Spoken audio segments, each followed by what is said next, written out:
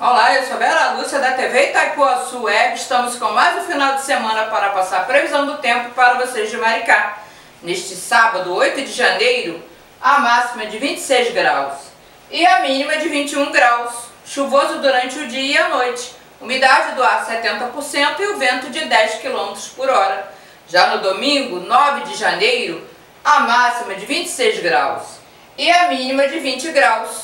Sol com muitas nuvens durante o dia, períodos de nublado com chuva a qualquer hora. Umidade do ar 80% e o vento de 10 km por hora.